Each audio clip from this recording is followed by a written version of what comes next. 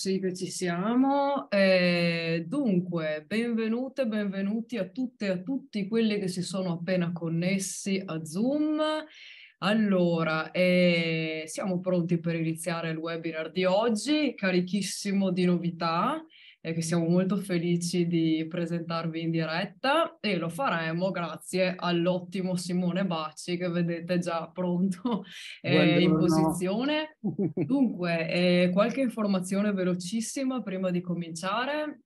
Eh, stiamo registrando anche il webinar di oggi, quindi come sapete tra qualche giorno ecco, sarà disponibile sia sulla nostra playlist webinar di YouTube sia sul nostro sito internet di Casa delle Lingue. E avvertimento importante, altrimenti poi ci scannate. E, ehm, questa volta non riceverete il vostro certificato di iscrizione subito dopo il webinar, ma eh, ve lo manderemo la settimana prossima, quindi in un'unica mail, eh, insomma lunedì al più tardi, avrete eh, tutto quanto, cioè avrete il vostro certificato di iscrizione, il link alla registrazione del webinar di oggi, se volete rivederlo, rivederne delle parti, eccetera, eh, il link anche alla presentazione di diapositive che sta per condividere con voi Simone e il link al, per favore, questionario di eh, soddisfazione che è online che vi chiediamo come sempre di, eh, a cui vi chiediamo di rispondere dopo le nostre formazioni online. E, ehm, basta, altre cose, eh, sì, come sempre, ecco, ormai insomma avete una certa dimestichezza tutti, penso, con Zoom, avete a vostra disposizione nel menu Zoom eh, lo strumento Q&A, QR a seconda della vostra lingua di interfaccia Zoom e tramite quella finestrella potete mandarci le vostre domande eh, inerenti alla presentazione di Simone e noi quindi ci, ci riserveremo gli ultimi dieci minuti circa del, di questo incontro online per porgergli le vostre domande.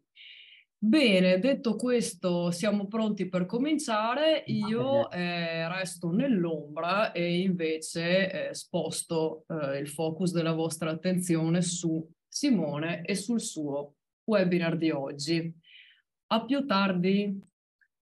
Buongiorno e grazie mille eh, della vostra partecipazione. Eh, sono un po' emozionato perché non ho l'abitudine di parlare a persone che mi seguono contemporaneamente da diversi paesi del mondo. Siete collegati dall'Europa e dall'America Latina principalmente, quindi insomma eh, grazie di essere tutti connessi nonostante il fuso orario e di essere qui eh, con noi per parlare di eh, DAI, la nuova creatura di Casa delle Lingue. Io sono Simone Bacci, eh, vivo a Strasburgo dove insegno all'Università e all'Istituto Italiano di Cultura eh, e oggi appunto vi presenterò il, ehm, il nuovo manuale eh, di Casa delle Lingue eh, intitolato Dai, il primo volume. Allora, adesso vediamo se riesco a fare ehm, andare avanti le, le slide. Allora, un attimo, chiedo solo un attimo di pazienza per prendere il controllo. Uh, dunque, non riesco ad andare indietro. Mm, Vittoria. Sto... Allora, vediamo.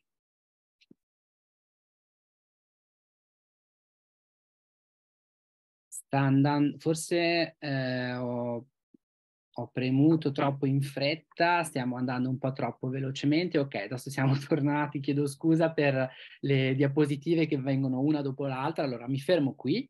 Eh, quindi dicevo che eh, oggi vi presenterò Dai 1, è una novità editoriale di Casa delle Lingue, eh, che ehm, in un volume unico che comprende libro dello studente, quaderno degli esercizi e legati culturali, ha l'obiettivo di eh, completare un sillabo a uno attraverso l'apprendimento orientato all'azione. Eh, il manuale uscirà a fine maggio e eh, poi nella prossima primavera ehm, usciranno, quindi nella primavera 2024, anche i volumi A2 e B1 dai 2 e dai 3 per poi ehm, avere la pubblicazione di DAI 4 nella primavera del eh, 2025. Allora, eh, in, eh, in, questo webinar, in quest'oretta che passeremo insieme, vi eh, presenterò eh, la eh, struttura eh, di DAI, poi cercherò di concentrarmi sull'unità saggio, che è l'unità numero 5, eh, presentando i principali punti di forza di questo manuale e per concludere molto rapidamente cercherò di presentarvi la mia esperienza di coautore di questo manuale. Ehm, dopo la, aver testato l'unità saggio anche a lezione, cercherò di mostrarvi un po' eh, qual è stato un po' il mio apporto e anche la mia eh, esperienza in questo, in questo progetto. Eh, in, più tardi poi ritornerò anche sul significato che abbiamo dato a, al titolo del, del webinar. Uh, se avete domande, come diceva Vittoria, potete annotarle e vi, vi ascolterò e cercherò di rispondere eh, molto volentieri alla fine della presentazione. Uh, dunque, prima di eh, cominciare, per capire bene a chi mi sto rivolgendo, vorrei eh, proporvi un piccolo sondaggio. Quindi eh, la, è un sondaggio a risposta multipla eh, a cui potete rispondere eh, cliccando direttamente sullo schermo. Siete insegnanti di italiano lingua straniera o lingua seconda? Quindi potete rispondere al sondaggio.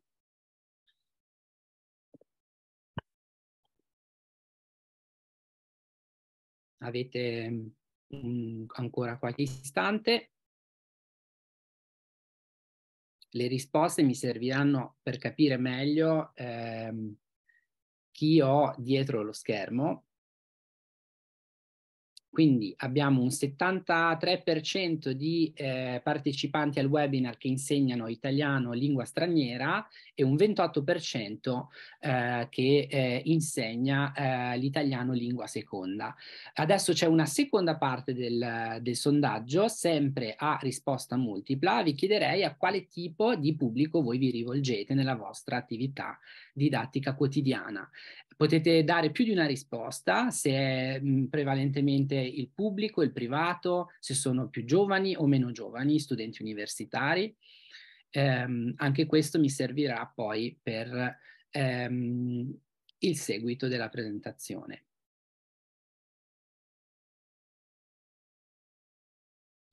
Allora, ancora qualche istante.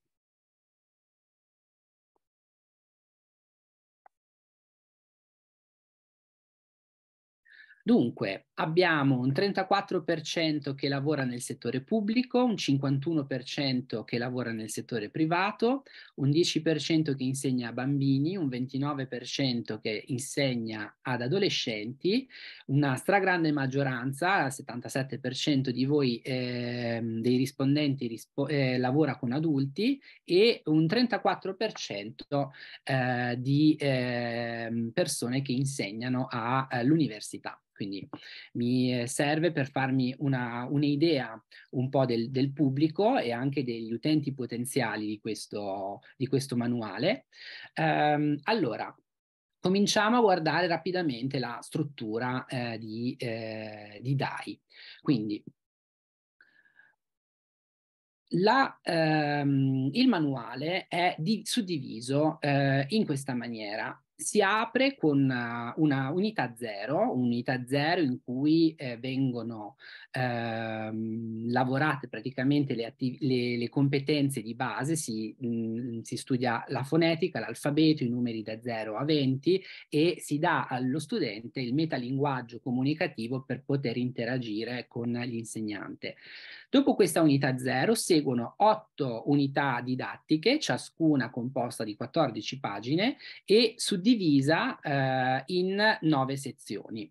Eh, ne vedremo una per una. Quindi la prima sezione con cui si apre il manuale è la sezione Cominciamo. Io adesso vi farò vedere ehm, del, degli estratti per mostrarvi le varie sezioni dell'unità numero 5, che è l'unità saggio.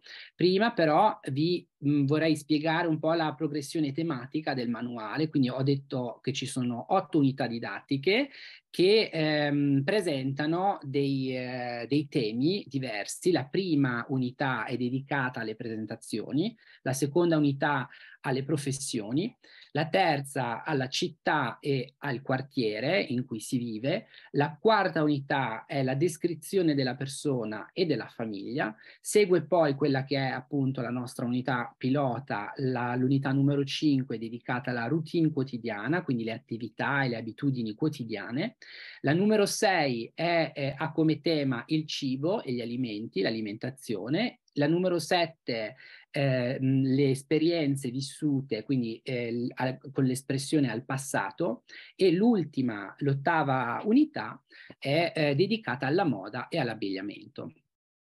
Uh, dunque, cominciamo da cominciamo. cominciamo è la prima sezione eh, del, del, manuale. DAI 1 si apre in questo modo con una pagina doppia ehm, che, come potete dedurre dal titolo, ha come obiettivo quello di introdurre il tema dell'unità.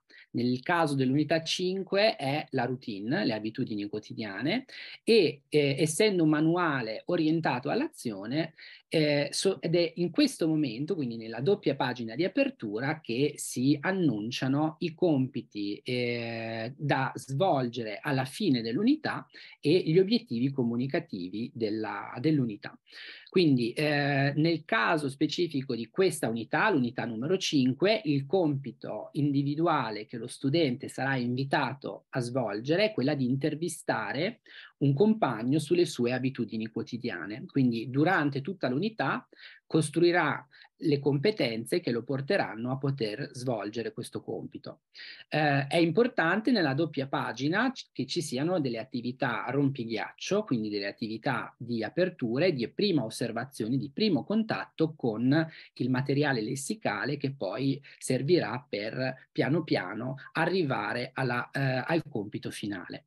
Quindi questa doppia pagina eh, presenta, dicevo, gli obiettivi comunicativi dell'unità, dà eh, una prima infarinatura attraverso delle attività eh, di primo contatto per guidare lo studente a, eh, all'incontro con il lessico su cui si strutturerà tutta l'unità e, eh, come dicevo, proprio secondo l'approccio orientato all'azione, si eh, annunciano già quali saranno i progetti finali con un compito eh, collettivo che si svolge a livello della classe e con un compito individuale.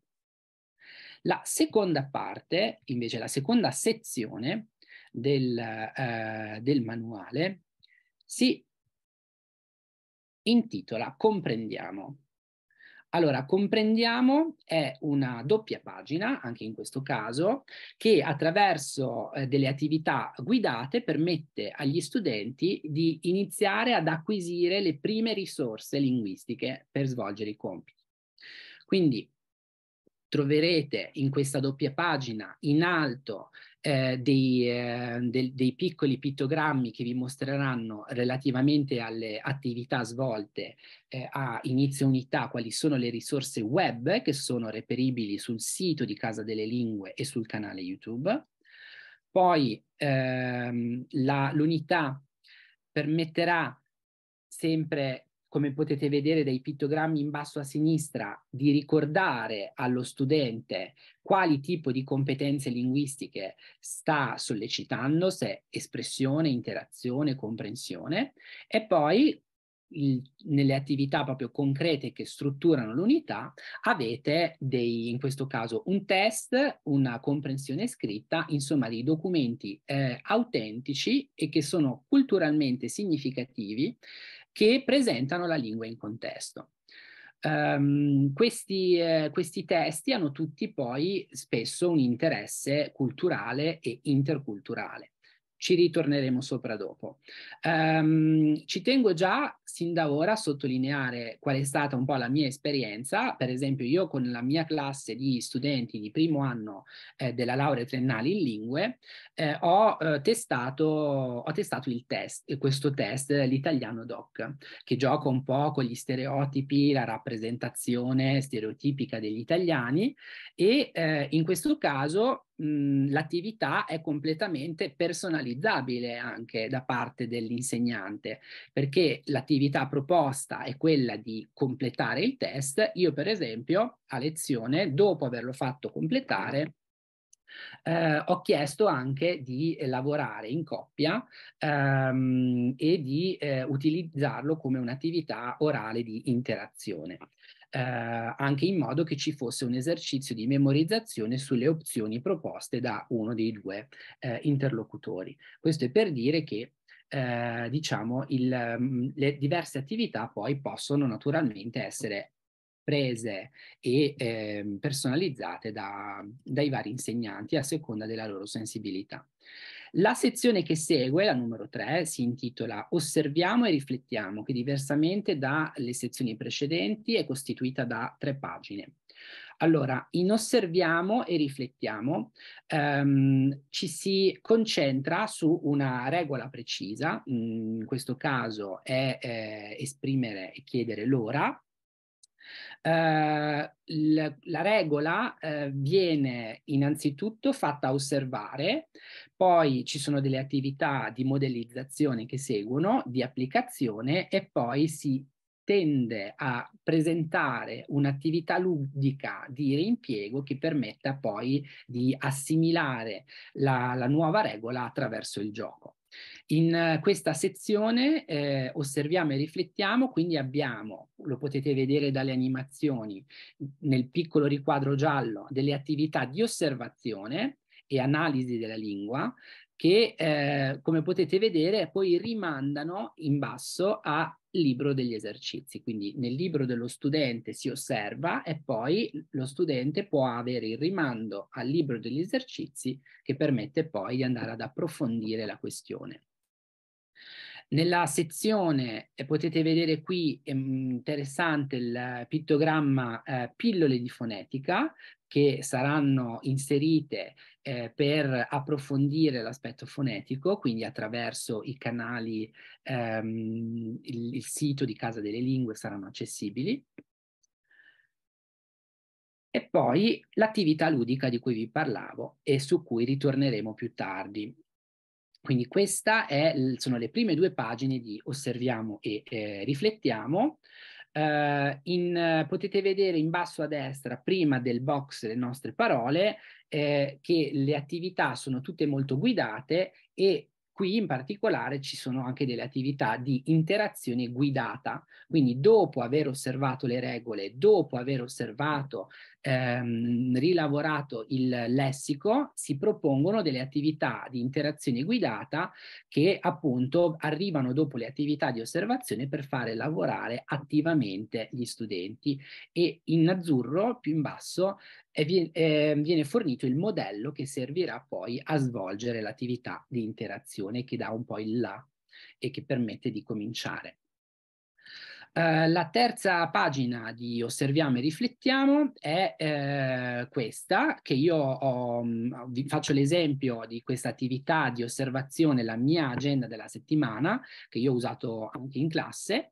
Eh, anche in questo caso si chiede, osserva l'agenda di Luca, secondo te che persona è, indica quali dei seguenti aggettivi sono più adatti.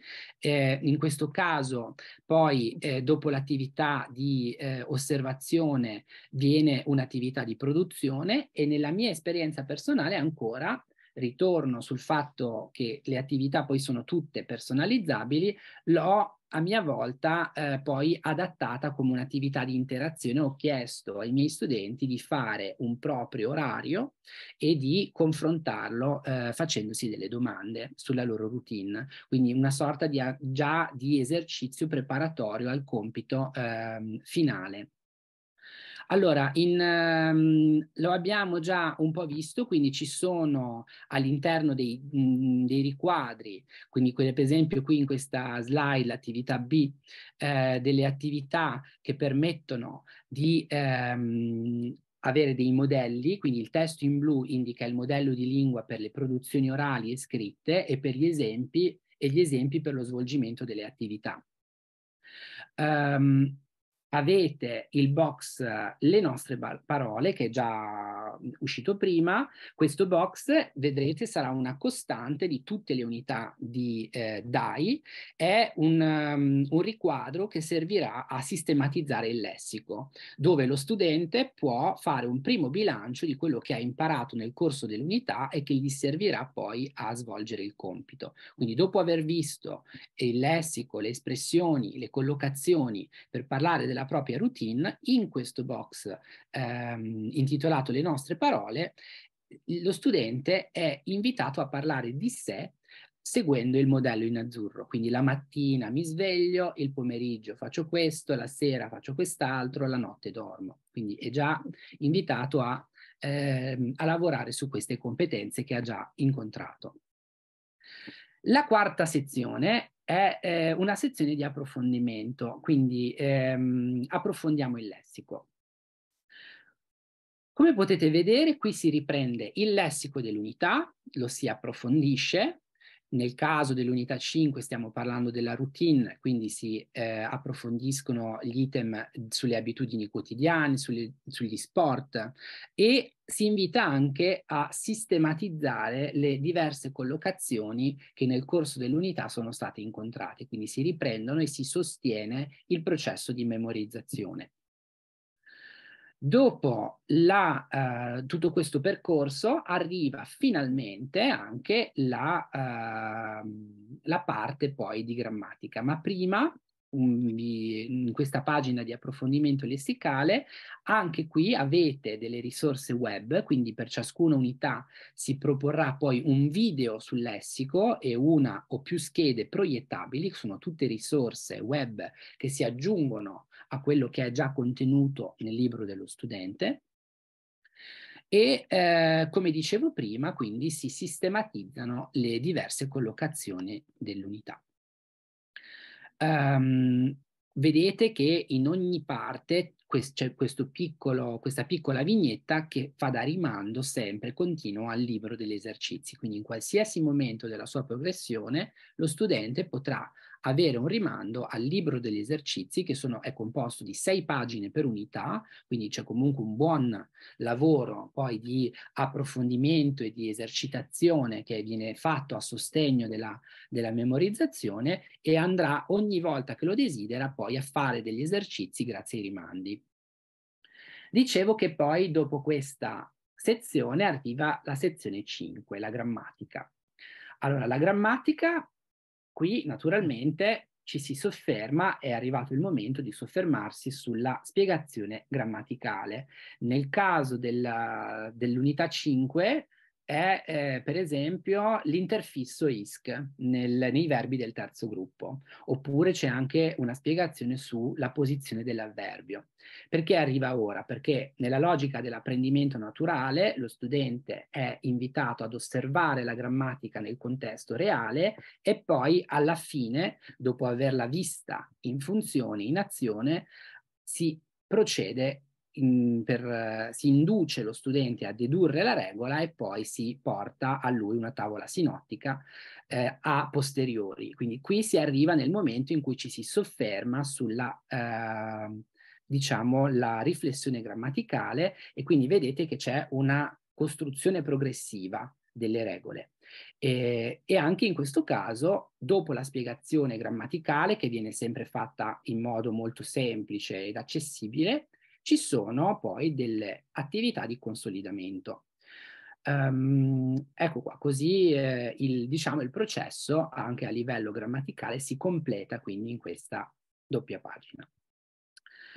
Dunque, adesso arriva in, nella, nella, struttura di DAI un po' una rivoluzione copernicana nelle, nei manuali di Casa delle Lingue, che è quella del, del video, Um, Allora, la sezione successiva è, ehm, non so se la slide avanti, sta andando avanti oppure si è bloccata. Vediamo.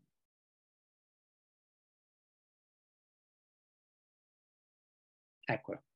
Quindi guardiamo il video e il nome della, della sezione successiva. In questo caso eh, sono inserite dentro ad ogni unità delle attività di comprensione orale a partire da un file video che sarà accessibile grazie a un codice QR. Quindi si potrà guardare direttamente dal, dal telefono oppure il video sarà disponibile sul canale YouTube di Casa delle Lingue e sono tutti dei video che sono in rapporto naturalmente con l'unità, con la tematica dell'unità e che cercano un po' di sensibilizzare all'aspetto eh, culturale e interculturale. Mm, per esempio nell'unità 5 vediamo una blogger italiana che vive a Londra che interroga un po' i suoi follower su quello che identifica un italiano, cioè i gesti, i rituali, i simboli che fanno sì che tu sia eh, italiano. Quindi anche in questo caso eh, il video, diciamo, può essere un'occasione per conf- confrontare gli, gli studenti sugli stereotipi che hanno integrato dell'Italia, confermarli eh, oppure anche eh, contraddirli. Um, dopo il, il video arriva, uh, scusatemi, eh, il video, eh, dicevo, è, in, è accessibile a, con codice QR o sul canale YouTube e poi naturalmente ho dimenticato di dire che lega- allegate al video ci sono tutta una serie di attività di comprensione, produzione e interazione. Quindi il video poi viene ehm, utilizzato per la comprensione e poi per lavorare da soli o in gruppo.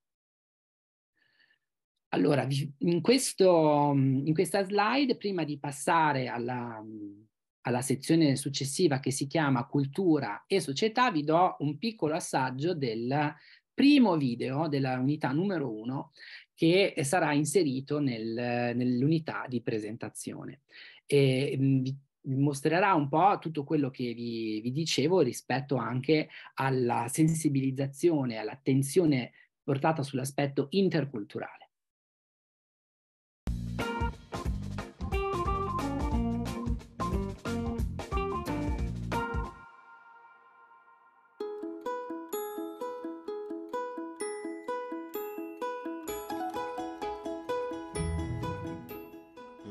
Che era la quarta o la quinta è diventato quasi la mia, la mia prima lingua perché la parliamo a casa e è sicuramente una parte importante. La lingua o le lingue che si parlano in Italia è un'armonia musicale, un'armonia di, di migliaia, miliardi di sfumature come questi colori qua.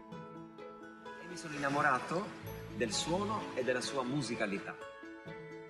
La lingua italiana è l'arte, la musica, il canto. L'italiano mi sa che va sempre di moda. Gli albanesi imparavano l'italiano di nascosto perché potevano ascoltare eh, una voce da, dal mondo che si chiamava mondo libero. La lingua italiana è, è, tutto, per me è amore, per me è storia, per me la lingua italiana è passione. Sono cresciuto con la lingua italiana e quindi eh, penso che è una delle fortune più grandi che ho avuto nella mia vita. L'italiano è come l'arcobaleno, è l'arcobaleno della musica, dell'arte, della scienza, della letteratura, dei media, del cinema, della storia. Per me la lingua italiana è il mio primo amore. Perché parlare italiano? Perché è la lingua della musica, la lingua dell'arte, la moda, lo sport, uh, la storia. La lingua italiana è poesia, come si dice il poeta. Mentre lui gli insegnava a fare l'amore, lei gli insegnava ad amare. La lingua italiana è la lingua del paese che mi ha accolta e amata, la lingua del paese che è pieno d'arte e magia. La lingua italiana è melodica, musicale, è bella da parlare e bella da ascoltare. Parlare la lingua crea più ponti di comunicazione tra i due paesi e una più ampia conoscenza e vicinanza.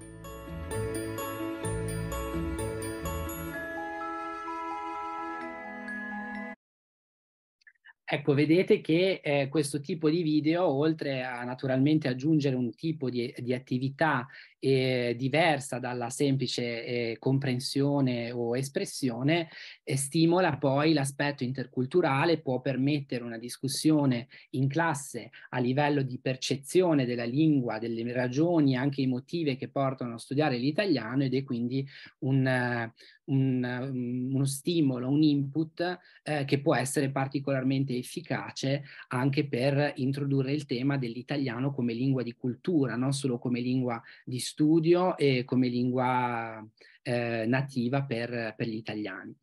Quindi dopo questo, questa sezione dedicata al video viene una sezione di approfondimento culturale la, intitolata Cultura e Società, dove ehm, si approfondiscono dei contenuti culturali dell'unità attraverso dei documenti autentici. Eh, ritornerò più tardi poi sull'aggettivo autentico, eh, che cosa intendiamo per autentico. In questa, in questa sezione, che è una pagina sola, abbiamo dei documenti scelti in base alla tematica del, dell'unità per ampliare, approfondire i contenuti culturali emersi nell'unità e poi ci sono sempre eh, attività che eh, promuovono la comprensione interculturale. In questo caso l'abitudine tipicamente italiana del caffè, l'enorme quantità di tipologie di caffè, quindi eh, le abitudini e, e anche in questo caso ancora stereotipi di cui si può parlare insieme. Um, allora, qui siamo verso la fine dell'unità. Abbiamo visto il lessico, abbiamo, siamo arrivati a far in, dedurre la regola di grammatica ai nostri studenti, li abbiamo preparati a svolgere dei compiti e quindi in questo caso arriva più un'attenzione sul compito che si dovrà svolgere. Nell'ambito di questa eh, unità ricordiamo che il compito eh, individuale è fare un'intervista al proprio compagno eh, sulla sua routine quotidiana. Quindi in questa fase la fase prepariamoci i compiti, si prepara lo studente in modo un po' più specifico proprio per eseguire il compito finale e ehm, si eh, diciamo rimescolano e riutilizzano un po' tutti i contenuti sui, su cui si è lavorato in questo momento. Poi arriva la fase proprio finale dell'unità, che è quella dei compiti, in cui si danno dei modelli per il compito collettivo e si esplicitano le consegne per svolgere nel migliore dei modi il compito individuale, dove tutto è molto preciso e chiaro in modo che lo studente sappia quello che eh, è ehm, que- quello che gli è chiesto di fare a livello proprio di compiti. Allora, Um, adesso passo alla seconda parte della mia presentazione, vi ho un po' spiegato come funziona la struttura di DAI nelle sue otto unità. Adesso vorrei concentrarmi un po' di più sui um, punti di forza di questo manuale e abbiamo deciso di scegliere come titolo del webinar un manuale autentico, ludico e inclusivo. Quindi questi tre aggettivi sono, perché li abbiamo scelti? Perché sono abbastanza rappresentativi del taglio che è stato voluto, che, abbiamo, che è stato dato al progetto sin dalla sua concezione, sin dall'inizio. Allora, che cosa intendiamo per autentico? Allora, ci sarebbe tutta una riflessione che meriterebbe di essere che dovremmo fare sul termine autentico nell'epoca di DeepL, dell'intelligenza artificiale e di chat GPT naturalmente. Noi per autentico non intendiamo, ehm, intendiamo in particolare mm, in, non inventato a fini didattici, ma un testo che viene preso da un contesto comunicativo reale. Quindi testi autentici, lo sforzo di noi coautori, di tutti gli autori che hanno lavorato a questo manuale, è stato cercare dei testi eh, che permettessero di osservare determinati aspetti della lingua a un livello A1 e che venissero tutti da contesti comunicativi reali. Immagino che sappiate tutti quanto me, visto che siamo tutti tra colleghi, quanto è difficile trovare testi autentici appropriati per un livello A1 e eh, adatti a un pubblico di principianti senza che questi documenti sovraccarichino eh, gli studenti dal punto di vista cognitivo. Immagino che eh, avrete anche voi la stessa, eh, la stessa esperienza. Però il, il testo autentico è comunque, eh, scusatemi, sono andato troppo avanti, è necessario per ehm, scusate, ho, ho, accelerato troppo con le slide, non so cosa sia successo, adesso torno indietro. Dicevo che la presenza eh, di testi autentici è necessaria per i nostri studenti per dar loro degli input realistici che poi possono ritrovare una volta immersi nel bagno linguistico sul posto, quindi in Italia, e anche perché possano riusare le risorse eh, che studiano a scuola nella vita quotidiana. Um, quindi noi ci siamo sforzati di trovare il giusto equilibrio tra input originali e poi il necessario adattamento a un livello A1 e in questa diapositiva vi mostro per esempio da alcuni testi autentici che abbiamo scelto, eh, uno eh, su, che parla un po' dell'aspetto culturale e quindi il commissario Montalbano estratto da eh, un sito autentico, troverete sempre nel corso del, del, del manuale anche la, mh, l'indirizzo da cui i testi sono stati presi e vedete anche che ehm, all'interno del testo autentico invitiamo poi a isolare e a osservare determinate cose. Quindi c'è una sottolineatura in verde che permette allo studente, essendo il testo autentico un po' più denso di un testo elaborato ad hoc, quindi di andare a isolare e a osservare con più facilità le cose su cui vogliamo che lui si soffermi. Abbiamo le abitudini del caffè di cui abbiamo parlato prima, oppure abbiamo estratto da dei blog dei commenti sulla routine quotidiana e, o dal, per esempio, a destra avete un estratto del testo preso dal sito della Valle d'Aosta che presenta le particolarità ehm, linguistico-culturali di questa regione. Quindi Diciamo che ehm, questi testi sono tutti autentici e permettono allo stesso tempo poi di lavorare sull'aspetto culturale e interculturale. Per esempio, il, il post del blog che vedete al centro sugli eh, orari dei pasti permette poi di far confrontare i nostri studenti che vivono magari fuori dall'Italia sulle loro abitudini eh, alimentari rispetto a quelle eh, che si eh, che si praticano in Italia. Quindi ancora una volta per confrontare gli stereotipi, confermarli o smentirli. Il secondo eh, aggettivo è attività ludica, quindi era un manuale autentico ludico. Allora, prima di andare a parlare di, questa, di questo aspetto su cui ci siamo un po' dedicati nella concezione di DAI, ehm, quindi lo avrete capito, è un manuale che contiene qualche attività di gioco al suo interno. Prima di andare a spiegarvi che tipo di attività ludiche contiene, vorrei capire ancora una volta qual è il vostro rapporto con l'attività ludica. Quindi vi sottopongo, se siete d'accordo, un altro piccolo sondaggio eh, per capire se eh, usate o no il gioco nella vostra attività didattica quotidiana. Allora, la domanda è quanto spazio dai tu alle attività ludiche nelle tue lezioni? Avete una singola scelta.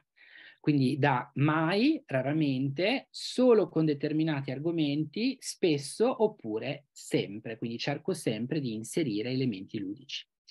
Avete qualche istante ancora per rispondere?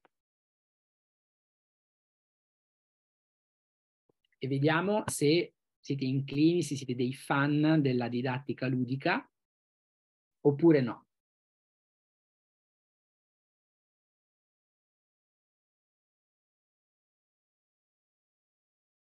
Quindi vi invito a rispondere al, al sondaggio se non l'avete ancora fatto. Potete cliccare direttamente nella risposta sullo schermo.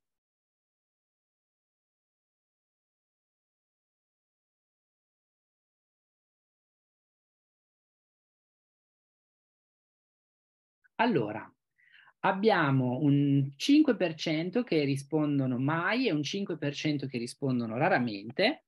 Quindi un 16% risponde utilizzo le attività ludiche solo con determinati argomenti che si prestano poi a giocare e un 33% spesso quando è possibile, mentre sembra che 37 persone su 88 usino eh, sempre eh, cioè immagino quando è possibile, di inserire elementi ludici, quindi cercano sempre di inserire un elemento ludico nelle loro attività.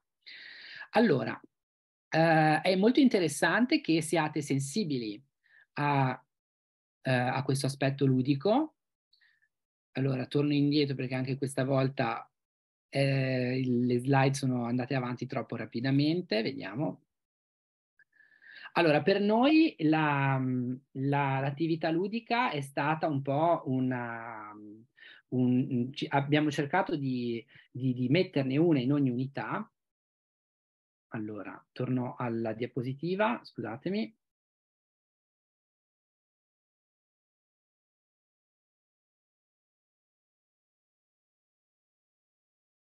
Ho fatto spoiler, sapete già tutto di quello che succederà nel, dopo la mia presentazione, mi dispiace. Allora, eravamo qui, ok. Um, vi do un esempio di un'attività ludica che eh, viene inserita nella eh, unità 4. L'unità 4, vi ricordo, è quella dedicata alla descrizione della persona. A metà percorso, dopo che lo studente ha eh, osservato, sistematizzato, ehm, eh, riutilizzato il lessico per descrivere i tratti fisici e psicologici di una persona, viene invitato a fare un tipo di attività ludica di questo tipo. Ve la leggo. L'insegnante mostra le foto di tre persone, a gruppi scrivete degli aggettivi per descriverle, avete 60 secondi a disposizione. Il gruppo che associa più aggettivi adeguati a ciascuna foto vince. Quindi in pratica siamo in un punto in cui dopo le dovute attività di reimpiego e di modellizzazione che sono state fatte, si dà spazio a un momento di gioco in cui lo studente è diviso in, gli studenti sono divisi in squadre e sono messi in una situazione di competizione costruttiva. Quindi ehm, questo presenta dei vantaggi abbastanza interessanti, aumentare la loro motivazione e favorire l'apprendimento attivo e cooperativo. Quindi gli studenti sono messi insieme per, con una sorta di competizione positiva e mostra un altro vantaggio che si mettono in una situazione linguistica autentica, quindi si offre loro un'esperienza linguistica autentica. Naturalmente poi il vantaggio è che aumenta la loro fiducia nell'usare la lingua in una situazione reale e eh, questo da, rende lo, lo, speriamo tutti, il corso eh, più efficace.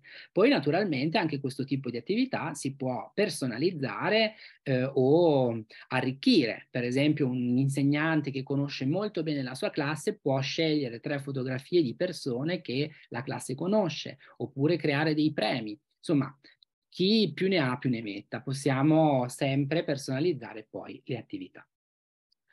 Uh, il terzo um, aggettivo del titolo di questo webinar è inclusività, quindi un manuale inclusivo, non tanto dal punto di vista uh, dell'accessibilità del manuale. Per inclusivo noi intendiamo um, un manuale che cerchi di rispettare la diversità culturale di genere, di provenienza, di orientamento sessuale, di background, di stili di vita dei potenziali studenti che poi utilizzeranno il manuale.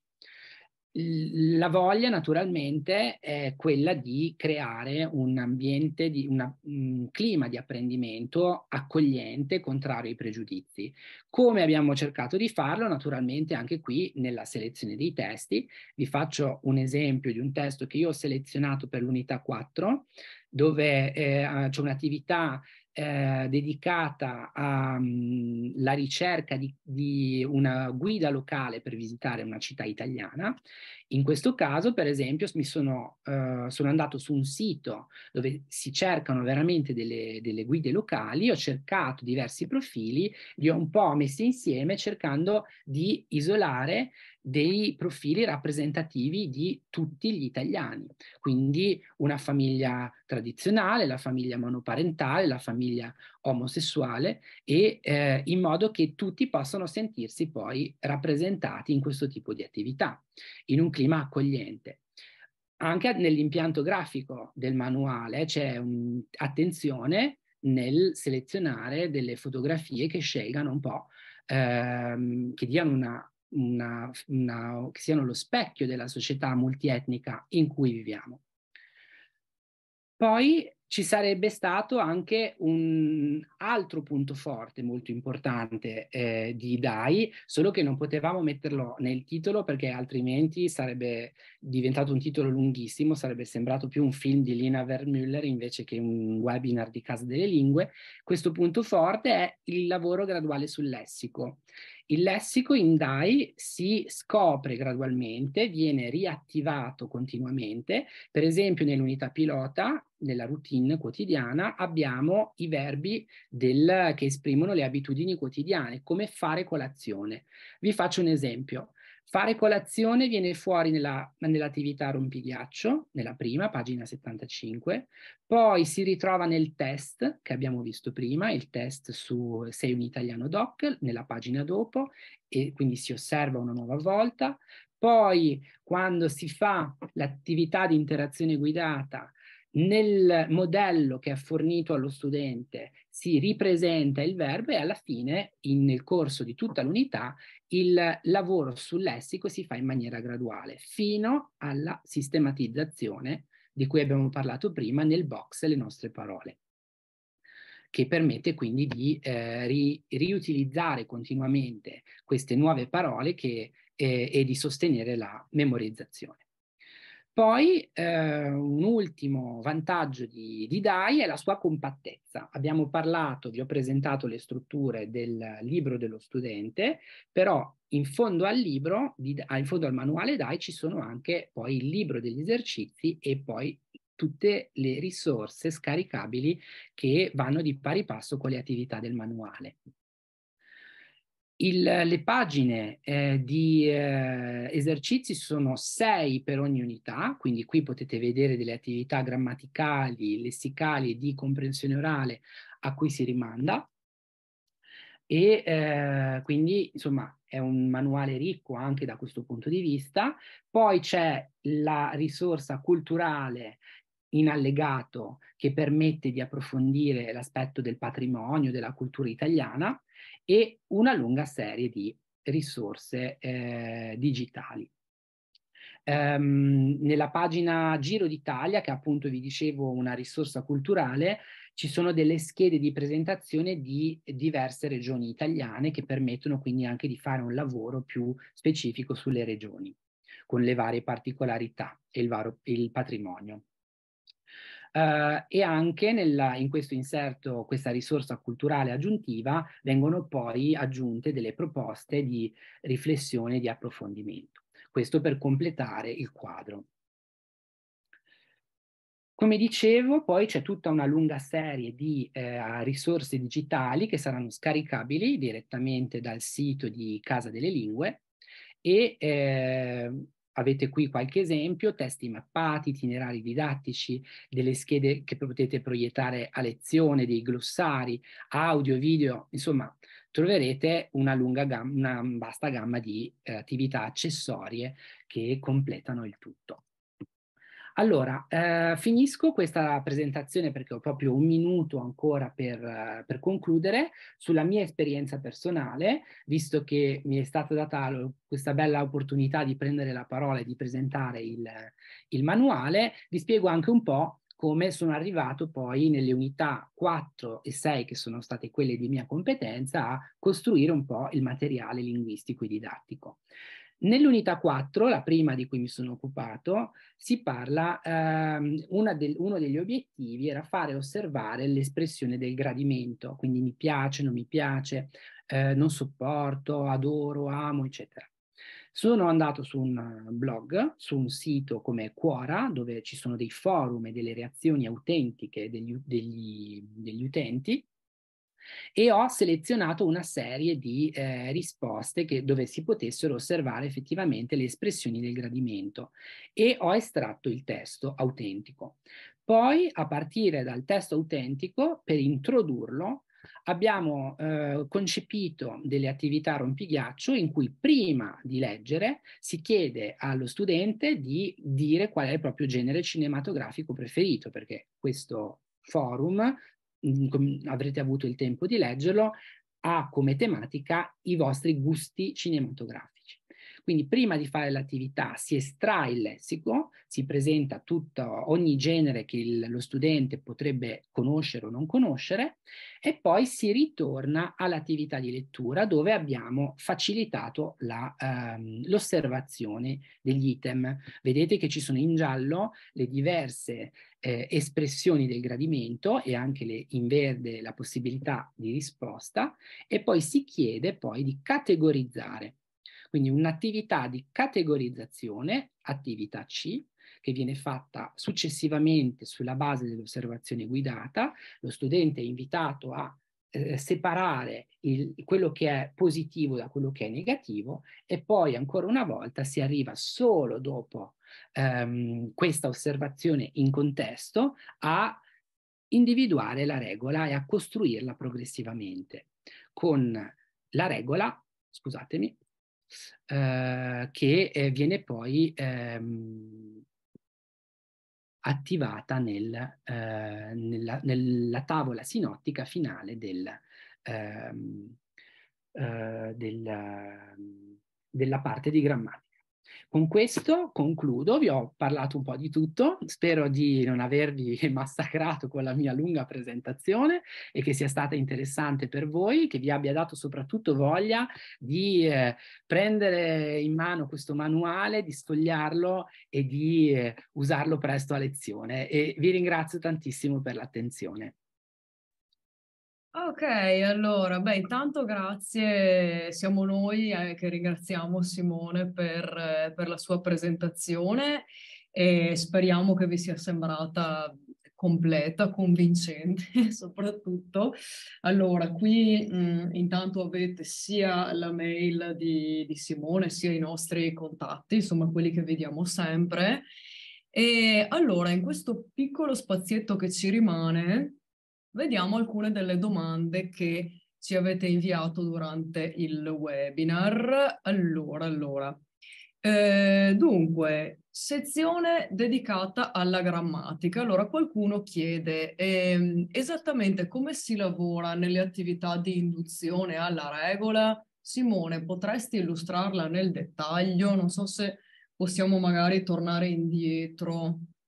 Uh... Sì, abbiamo una, la, l'induzione è fatta come presentavo prima, il, è, è, lo stesso procedimento del, eh, del verbo fare colazione, della, di quella perifrasi. Se prima in, mostravo quanto è graduale il lavoro sul lessico, e vale lo stesso per l'osservazione grammaticale. Quindi il, la grammatica si osserva nel contesto reale e poi con questa attività di categorizzazione si poi arriva a, eh, si, si, cerca di invitare lo studente a dedurre la, a, a indurre, si induce lo studente a dedurre la regola. Uh, adesso sono un po' lento nell'andare in, vedo che c'è un po' un decalage tra... Eh, sì, poi ti aiuto a recuperare. Ecco, è qui sì, Questa è la parte finale con le tavole, le tavole ah. sinottiche, oh. però per esempio il, per quanto riguarda l'interfisso ISC eh, che dicevamo prima, viene osservato in uso e si, c'è già qualche piccolo schemino che cerca di fa- attirare l'attenzione durante l'unità e poi il rimando alla pagina di grammatica eh, porta alla spiegazione. Quindi il, um, semplificando molto il processo è sempre lo stesso che per il lessico, quindi si arriva gradualmente alla fine a costruire, a costruire regola. E poi naturalmente questo approccio cambia con l'evolvere delle, delle, unità, nel senso che si fa in un certo modo per l'unità 1 e in un modo più approfondito nell'unità 8, quindi man mano che lo studente prende con fiducia nelle sue capacità, anche la sua dimestichezza migliora. Eh, io, ripetevo, mi sono occupato in particolare delle unità 4 e 6, eh? quindi eh, per quanto riguarda l'unità 5, ehm, bisognerebbe sarebbe interessante sentire l'opinione del, di, di, chi ha contribuito più da vicino a questa unità. Ok.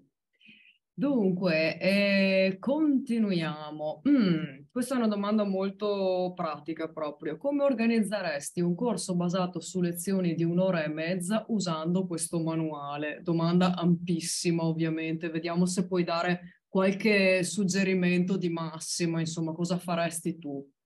È, è mol- dipende molto dal gruppo classe, dal, dalla reattività, dal, dalla lingua anche degli studenti, perché una, il manuale utilizzato in un paese eh, magari che, come la Francia o la Spagna non avrà la stessa rapidità e la stessa percezione, la stessa ricezione di, del, del DDAI utilizzato in un paese magari dove non si parla una lingua latina, eh, direi che... Eh, è un po' a discrezione dell'insegnante. Io personalmente in un'ora e mezza sono riuscito a fare la, le mh, due pagine in maniera approfondita, forse tre, quindi direi che eh, un'unità a seconda del ritmo di ogni insegnante potrebbe essere mh, utilizzata su quattro o cinque lezioni, ecco.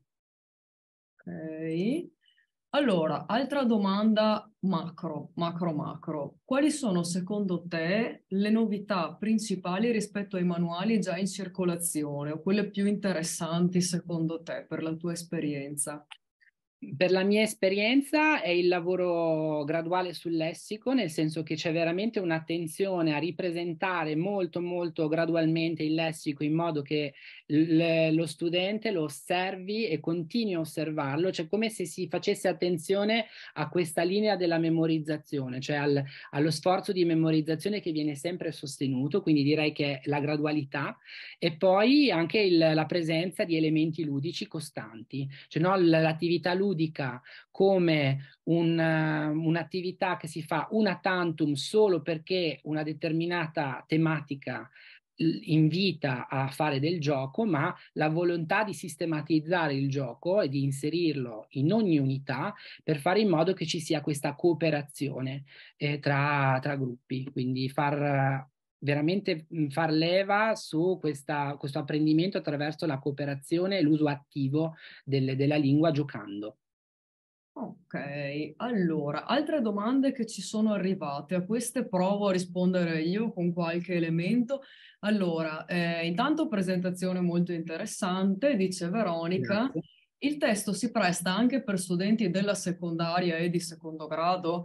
Allora, eh, il manuale, eh, adesso insomma Simone per esempio vi ha parlato della sua esperienza in ambito con un pubblico adulto, però DAI si rivolge sia a un pubblico adulto sia ad un pubblico giovane, ok? Quindi può essere adattato ad entrambi, eh, anche appunto ad un settore scolastico, non necessariamente adulto, non necessariamente universitario.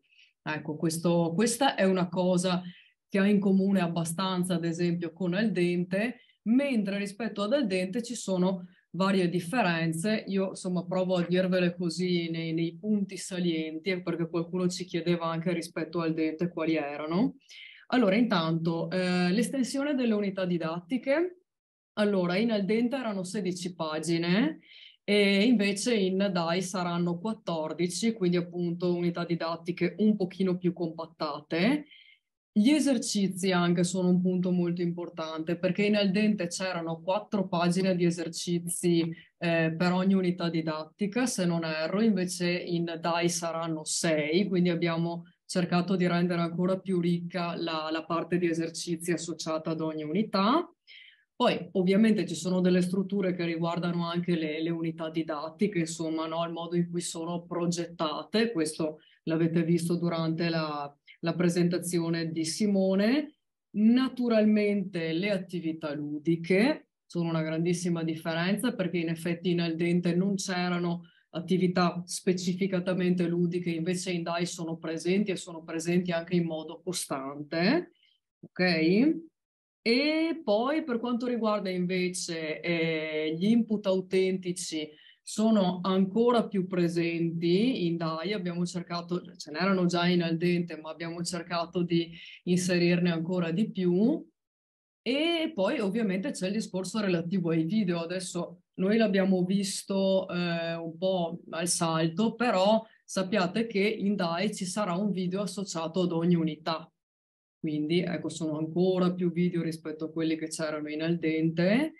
E per quanto riguarda le differenze fondamentali, sono queste. Non so se i colleghi che sono connessi qui di Casa delle Lingue, anche loro nell'ombra, hanno qualcos'altro da aggiungere, ma più o meno ecco a spanne quello che mi è venuto in mente. Sicuramente avrò dimenticato qualcosa.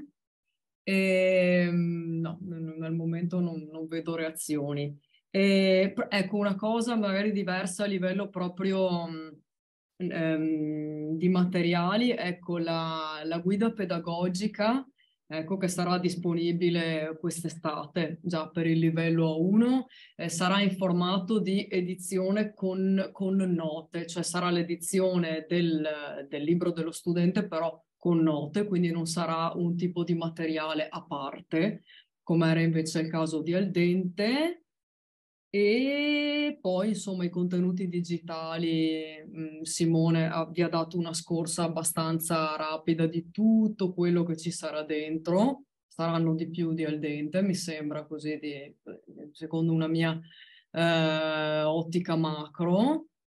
E poi basta, ecco, mi sembra abbastanza, no? Non so, cosa ne pensate voi, però io penso che sia abbastanza.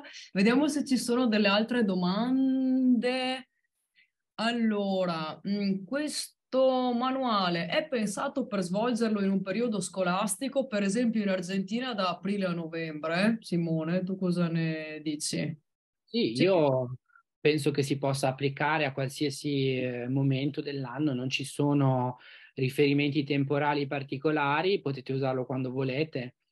Ok, allora, eh, questo si è già stato detto, però ripetiamo perché è una cosa importante. Eh, sarà disponibile sia in versione cartacea normale, sia in versione digitale, eh, questo è il nostro manuale, quindi avrete e tra l'altro avrete versione cartacea, versione digitale, solo digitale, e la versione premium che abbina le due versioni, cartacea e digitale assieme, quindi come, come per al dente. Questo, questo l'abbiamo mantenuto. E allora, quando sarà pubblicato, allora le date Simone ve le ha già date, ma ve le ripeto. Allora, per il libro dell'alunno del livello A1 si parla di auspicabilmente inizio maggio.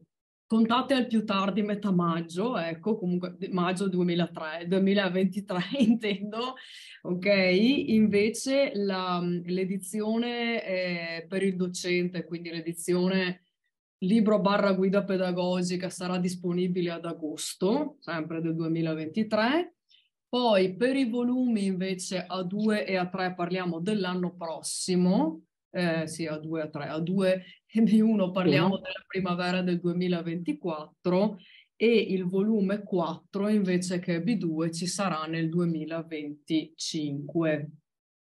Ecco, anche questo l'abbiamo visto. Ok, sì, ovviamente, ecco, a partire da, da maggio, ma insomma potete già contattarci ad aprile eh, se volete farlo, eh, per avere coppie omaggio, ecco, per vedere delle coppie saggio, potete scriverci. Allora, lì nella slide potete vedere nostro, la nostra mail, quindi contattateci e faremo il possibile. Ecco, um, insomma, più o meno, ecco, mi sembra che abbiamo visto tutto, ne avete mandate parecchie di domande. Eh, no, non so, Simone, vuoi aggiungere un, qualche ultima considerazione o cosa dici? O possiamo chiuderla qui? Io penso di aver detto tutto, eh, forse qualcuno non reagisce più perché li abbiamo stesi. Abbiamo saturati, può darsi, può ehm, darsi. È stato, è stato, un piacere, non esitate a scrivermi se avete delle domande o a scrivere a Maria Vittoria e siamo a vostra disposizione. Ok. Ok, allora, eh, ripeto, il webinar eh, che si sta concludendo è stato registrato, eh? quindi tra qualche giorno, ripeto, tra qualche giorno, non questa sera, non tra cinque minuti, riceverete la mail con il certificato di iscrizione al webinar, il link al questionario di soddisfazione che vi chiediamo di compilare e avrete anche appunto il link al video del webinar che potete vedere in replay e alla presentazione di slide che ha condiviso oggi eh, Simone eh, con noi. E, e, poi, ecco, insomma, per ogni necessità contattateci, lì avete i contatti per, per poterlo fare. Bene, allora a questo punto grazie di nuovo a Simone. Grazie a voi e tutti i colleghi e buon lavoro. E grazie a voi e dai, ci sentiamo, ci dai. sentiamo presto e ci rivediamo presto. Ciao a tutti. Ciao a tutti, grazie.